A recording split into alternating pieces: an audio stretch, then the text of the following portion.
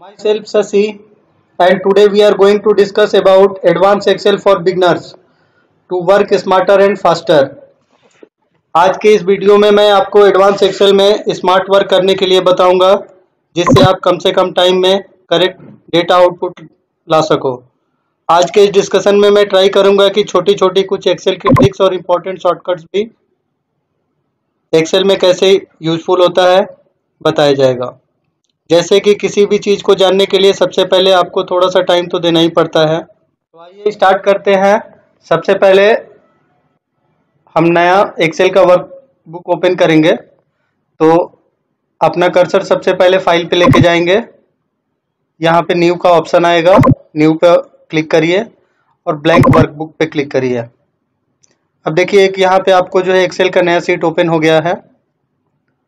ठीक है? अब यहाँ पे बहुत सारे ऑप्शन हैं।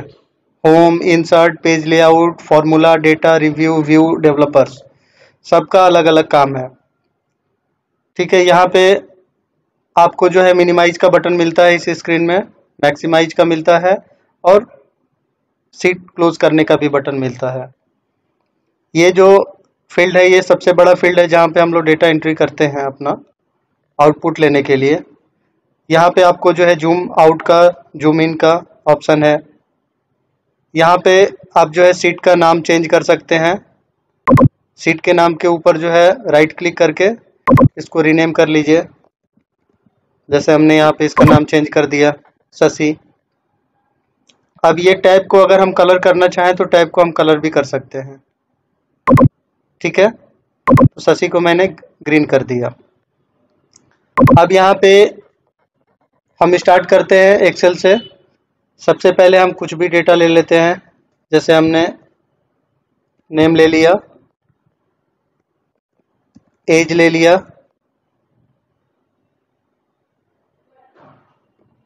अमाउंट ले लिया। नेम में हमने डाल दिया शशि। विकास। अजय। राजेश एज यहाँ पे डालते गए हम twenty five twenty six twenty seven twenty eight amount हम डालते गए hundred two hundred three hundred four hundred ठीक है? अब क्या है कि एक्सेल में अगर ये टोटल अमाउंट को हमको कैलकुलेट करना है तो बहुत सारा ऑप्शन है। अगर डेटा सेट छोटा है तो हम प्लस के थ्रू भी कर सकते हैं। अगर डेटा सेट बहुत बड़ा है, ठीक है, अगर 500 लाइन आइटम है थाउज़ेंड है टू थाउज़ेंड है तो हम उस केस में क्या करेंगे कि यहाँ पे कर्सर को ला के टोटल अमाउंट जहाँ पे हमको चाहिए, उसी सेल में जहाँ पे हम लोग जो अमाउंट का टोटल करने वाले हैं, उसके नीचे कर्सर लाके और एक्सेल के होम ऑप्शन में ऑटो सम का ऑप्शन है। जब ऑटो सम आप क्लिक करेंगे तो वो क्या करेगा? ऑटो सम का फ़ंक्शन वो डेटा सेट को पूरा कवर करेगा और टोटल वैल्यू आपको शो करेगा। अब जो है, इसी सीट में हमको जो है, शशि के नीचे कोई नाम चाहिए। तो हम लोग कैसे करेंगे? या तो ये डेटा को डाउन करके और नीचे वहाँ पे लिखेंगे, ऐसे। इसको कंट्रोल एक से कट किए और पेस्ट किए। या तो दूसरा शॉर्टकट ऑप्शन भी है अपने पास एक्सेल में। ये पूरी लाइन को सेलेक्ट करिए और कंट्रोल शिफ्ट प्लस बटन तो यहाँ पे क्या हो गया कि एक ब्लैंक लाइन जो है ऐड हो गई। अब यहाँ पे कोई भी नाम आप डाल दीजिए। जैसे हमने एक सन्नी डाल दिया एज डाल दिए, मान लीजिए कि ट्वेंटी फोर और अमाउंट डाल दिया इस, इनका हंड्रेड फिफ्टी अब यहाँ पे नीचे देखिएगा, जो वैल्यू हमने ऑटो सम के ऑटो सम से लगाई थी, ये वैल्यू डायनो डायनामिक हो जाएगी। अब यहाँ पे हंड्रेड फिफ्टी के पहले ये वैल्यू कितना दिखा रहा था? थाउज़ेंड और जब हम यहाँ पे हंड्रेड फिफ्टी ऐड कर दिए तो ये थाउज़ेंड वन फिफ्टी मतलब ये ऑटोमेटिकली एक्सेल ये वैल्यू को भी कैलकुलेट कर लिया। ठीक है? एक्सेल में अभी क्या है कि ये सिंपल फॉर्मेट में हमने जो है ये सब डिज़ाइन किया। अब अगर नेम में बहुत सारे नेम हैं। 500, 400, 300 ये जो भी हैं। और हम जो है यहाँ पे नेम को चाहते हैं कि वन बाई वन यहाँ वो नेम जो है फ़िल्टर होके आए। तो हम क्या करेंगे कि नेम के ऊपर सेलेक्ट करके और यहाँ पे फ़िल्टर का ऑप्शन है। ठीक है? यहाँ पे फ़िल्टर मार देंगे। अब फ़िल्टर मारने से फ़ायदा क्या होता है कि आपको जिसकी भी वैल्यू चाहिए, जैसे हमको अजय की वैल्यू चाहिए तो केवल अजय की ही वैल्यू यहाँ पे दिखेगी। ठीक है?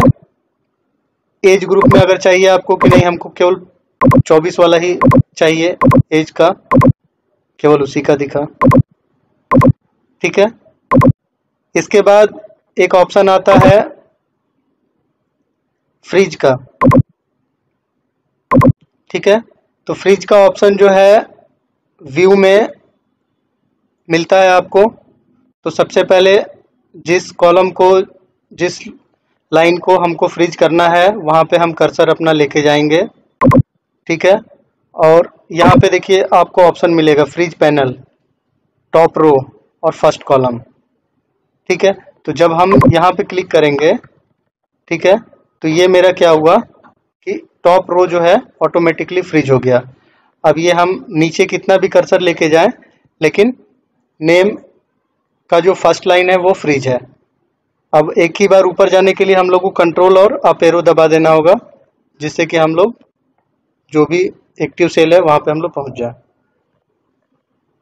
ठीक है? अब यहाँ पे नेम को अगर हमको बोल्ड करना है तो नेम के सामने के सभी सेल्स को तो सबको सेलेक्ट कर लीजिए। कैसे सेलेक्ट करेंगे? शिफ्ट और राइट एरो ठीक है? और कंट्रोल बी शॉर्टकट है बोल्ड का। कंट्रोल बी कंट्रोल बी से क्या हुआ कि वो एरिया बोल्ड हो गया जिस, जिसको हमने सेलेक्ट किया था। ठीक है? अभी क्या है कि ये जो दिख रहा है, इसको थोड़ा सा हम अच्छा से फॉर्मेटिंग कर लेते हैं। ये पूरा डेटा सेट सेलेक्ट करेंगे। ठीक है? होम में जाएँगे। और यहाँ पे आपको जो है होम के ही मेनू में आपको एक बॉटम बॉर्डर का ऑप्शन मिलेगा। इस पर क्लिक करिए। और अगर सबको बॉर्डर देना चाहते हैं तो यहाँ से आप बॉर्डर भी दे सकते हैं। कुछ कुछ चीज़ें आज के डिस्कशन में बहुत ही इम्पोर्टेंट है, जो कि आप देखेंगे तो आपको पता चलेगा। ठीक है, अभी क्या है कि हमको एक्सेल में बॉर्डर देना आ गया, बोल्ड करना आ गया, नाम डालना आ गया, फ़िल्टर लगाना आ गया ऑटो सम करना आ गया। अब क्या है कि जो बॉर्डर का कलर है, ठीक है? अभी ये बाय डिफ़ॉल्ट एक्सेल क्या करता है कि आपको ब्लैक कलर में ही देता है। अगर आप कलर चेंज करना चाहते हैं तो उसी में होम के ऑप्शन में बॉर्डर्स में जाएँगे और लाइन कलर का यहाँ पे ऑप्शन आता है, ठीक है? जो भी कलर आप देना चाहते हैं, ठीक है? जैसे हमने ये वाला कलर दे दिया लाइट ब्लू का, ठीक है? और यहाँ पे क्लिक कर दिया एक बार। अब देखिए ये जो जो भी एरिया जो हमने सेलेक्ट किया था, ठीक है? वो जो है बोल्ड होके आ गया। अब यहाँ पे एक काम और भी करेंगे, जो अमाउंट है अमाउंट के लिए यहाँ पे जो कॉमा का ऑप्शन है, वो डाल देंगे ताकि अमाउंट पता चले कि हंड्रेड रुपीज़ में है हंड्रेड फिफ्टी रुपीज़ में है। ये जो एज है एज को थोड़ा सा सेंटर में कर लीजिए। अभी एक चीज़ और बता रहे हैं कि ये पूरे फॉर्मेटिंग को हमको अगर चेंज करना हो, ठीक है? तो हम पूरे एरिया को सेलेक्ट कर लेंगे, जिसका फॉर्मेटिंग हम लोग को चेंज करना है। और फॉन्ट का नाम यहाँ पे जो भी लेना चाहें, जो भी आपको अच्छा लगे प्रेजेंटेशन के लिए या जैसे भी। जैसे हमने यहाँ पे ले लिया टाइम्स न्यू रोमन का। और जो फॉन्ट है, उसका साइज़ यहाँ से हम बढ़ा घटा सकते हैं, जैसे हमने 12 कर लिया। तो ये थोड़ा सा क्या हुआ कि बड़ा दिख के आने लगा। इसको भी कर लेते हैं कॉमा लगा ठीक है? अब ये हेडर वाले एरिया के सेल में हमको कुछ कलर फिल वगैरह करना है, ताकि थोड़ा सा देख के अच्छा लगे कि हाँ ये कलर हमने फिल किया है। तो हम क्या करेंगे कि कलर वाले थीम कलर वाले ऑप्शन में जाके होम में ही ये कलर हम उसको दे सकते हैं। अब ये चाहें कि ये जो ऊपर का हेडिंग है, वो थोड़ा सा अलग दिख गया है तो इसको वाइट कर दीजिए। थोड़ा अच्छा लगेगा। ठीक है? अब यहाँ पे हमको ये चाहिए कि जब भी हम नाम टाइप करें तो वहाँ पे डुप्लीकेट वैल्यू अगर आती है तो वो हाईलाइट हो जाए। तो हम क्या करेंगे कि इस एरिया को सेलेक्ट करेंगे। ये केवल यहाँ पे हमने एग्ज़ाम्पल के लिए पाँच नाम दिए हैं। ठीक है, यहाँ पे मैक्सिमम कितना भी, जितना भी इसमें सेल है, उतना आप डाल सकते हैं। ठीक है तो कंडीशनल फॉर्मेटिंग में जाएँगे हाईलाइट सेल्स रूल पे जाएँगे, ठीक है डुप्लीकेट वैल्यू पे क्लिक करेंगे और ओके कर देंगे। तो जब यहाँ पे देखिए, एक नाम दो बार रिपीट नहीं हुआ है, लेकिन अगर गलती से भी यहाँ पे अगर हम चाहें कि एक नाम को दोबारा टाइप करें तो वो क्या करेगा कि वो आपको तुरंत इंडिकेट कर देगा कि आपने जो है ये नाम दोबारा टाइप किया है। ठीक है? एक्सेल में एक चीज़ और भी स्क्रीन में दिख के आती है कि जैसे हमने ये वैल्यू सेलेक्ट कर लिया और कोई फॉर्मूला नहीं लगाया, फिर भी यहाँ पे हमको जो है सम का ऑप्शन दिखता है। एवरेज कितना है वो भी दिखता है। टोटल काउंट कितना है ये भी दिखता है। ठीक है मिनिमम इसमें अमाउंट कितना है, वो भी दिखा मैक्सिमम ये हमने जो है सेटिंग कर लिया है, उसके लिए ऐसा दिख रहा है। क्या होता है कि जैसे ससी 25 और 100 इस फॉर्म में लिखे हुए हैं, और एक्सेल में कभी कभी ये डेटा आपको ऐसे भी मिलेगा।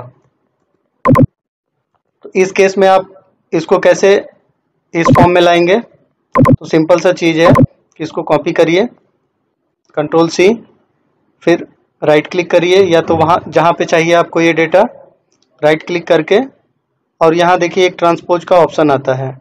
या तो आप जो है पेस्ट स्पेशल में अंदर भी जाएँगे, और यहाँ पे देखिए ट्रांसपोज का ऑप्शन है। ये छोटा छोटा ट्रिक आपको बस इसलिए बता रहे हैं कि ये डेली यूज़ में आती है।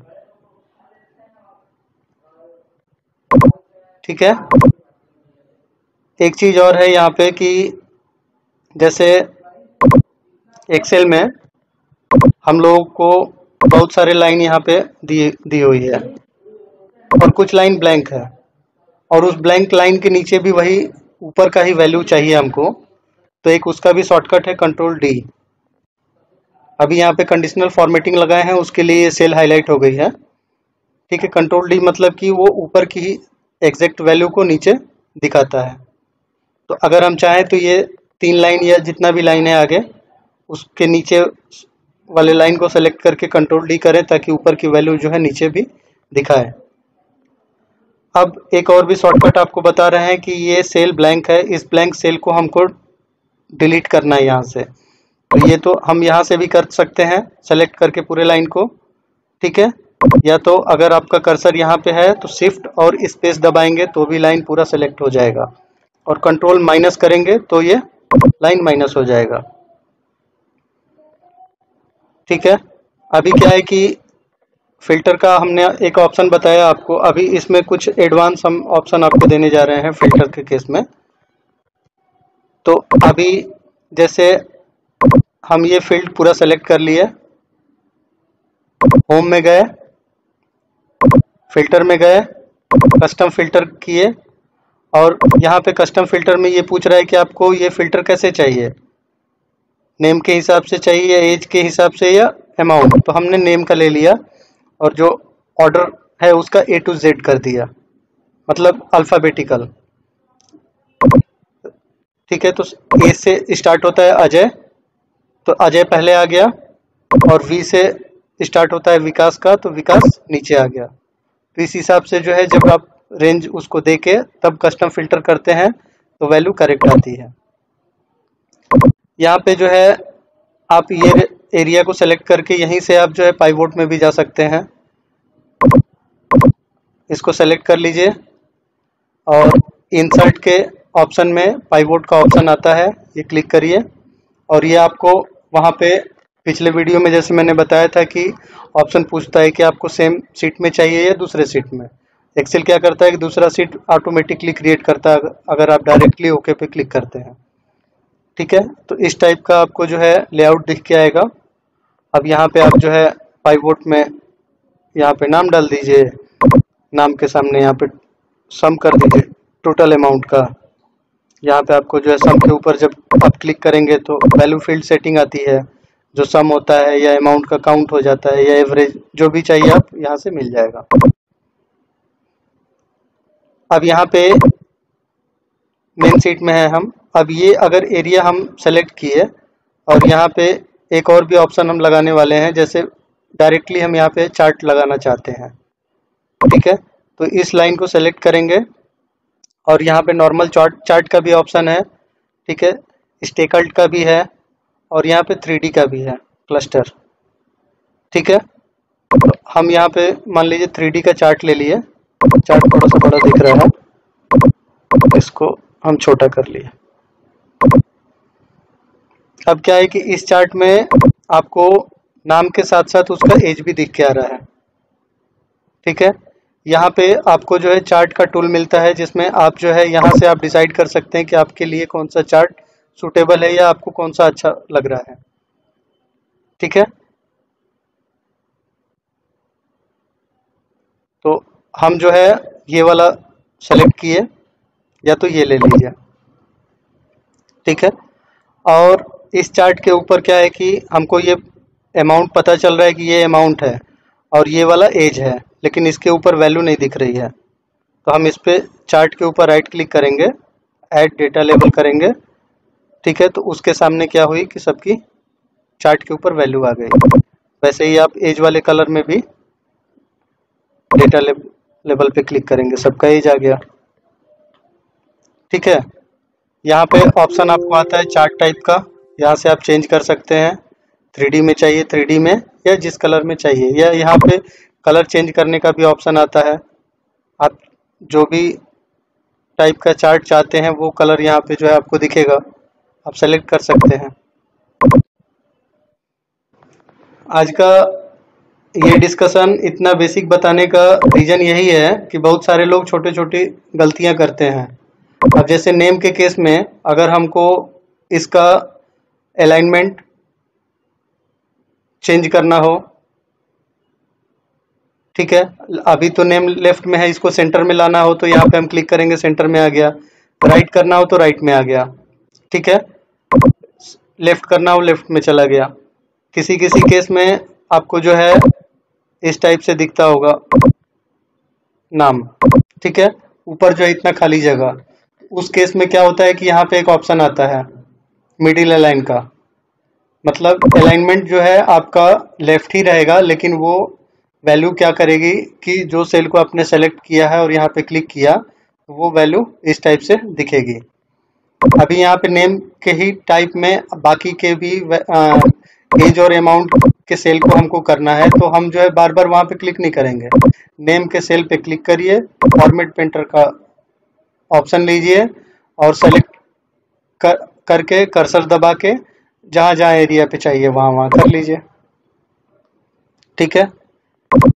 एक्सेल में ही कंट्रोल सी का भी ऑप्शन आता है कॉपी करने के लिए। कंट्रोल सी एक्सेल में ही कंट्रोल वी का ऑप्शन आता है पेस्ट के लिए. कंट्रोल एक्स का ऑप्शन आता है कट के लिए. ठीक है? तो इस टाइप से हम एक्सेल में बहुत सारा चीज़ शॉर्टकट में कर सकते हैं। जैसे कभी कभी क्या होता है जैसे ये अमाउंट है। ठीक है? अब इस अमाउंट को हमको जो है यहीं पे दिखना इतने ही एरिया में दिखना है। तो हम इसको क्या करेंगे कि रैप कर देते हैं। तो ये अमाउंट तो पूरा लिखा हुआ है, लेकिन ऊपर नीचे है। कभी कभी क्या होता है कि हेडिंग जो है मेरा कुछ ज़्यादा हो जाने की वजह से हम लोगों को ये रैप टेक्स्ट का ऑप्शन यूज़ करना होता है। अब अगर अमाउंट को हम लोग जो है थोड़ा सा वर्टिकल टेक्स्ट में कन्वर्ट करना चाहते हैं, ठीक है? तो ये आपको अमाउंट ऐसे दिखता है। अब ये भी एरिया को ऐसा करना चाहते हैं तो आप अमाउंट पे चले जाइए फॉर्मेट पेंटर में चले जाइए और इसको भी सेलेक्ट कर दीजिए। ठीक है? अब अगर जैसे यहाँ हम एग्जांपल के लिए ही केवल ये डेटा सेट पे हम काम कर रहे हैं, एक ही डेटा सेट के ऊपर। अगर मान लीजिए कि ये पूरे पाँचों सेल को हमको मर्ज करना है और कोई एक ही नाम चाहिए तो यहाँ पे क्या करेंगे कि मर्ज सेल पे क्लिक करेंगे और ओके करेंगे। तो इसमें जो सबसे पहला नाम रहेगा, ठीक है मर्ज मर्ज सेल क्या करता है कि पाँचों को क्लब करके एक नाम दे देता है, जो कि पहला वाला नाम सेलेक्ट आपने किया है। ठीक है? फिर अनमर्ज करने के लिए आप फिर से इसी पे क्लिक कर दीजिए। अगर गलती से आपसे कुछ डिलीट हो गया और आप चाहते हैं उसको रिकवर करना है तो हम यहाँ पे क्या करेंगे? कंट्रोल जेड का ऑप्शन दबाएँगे अंडू के लिए। कंट्रोल जेड से क्या होगा? जो डेटा हमसे गलती से डिलीट हो गई है, वो फिर से रिफ्लेक्ट कर जाएगी। ठीक है? अब यहाँ पे अगर इसका हमको साइज़ बढ़ाना है टेक्स्ट का तो एक्सेल के होम ऑप्शन में ही इंक्रीज फॉन्ट साइज़ का ऑप्शन दिया रहता है। आप इस पर क्लिक करेंगे ऑटोमेटिक जो है फॉन्ट का साइज़ इंक्रीज हो जाएगा।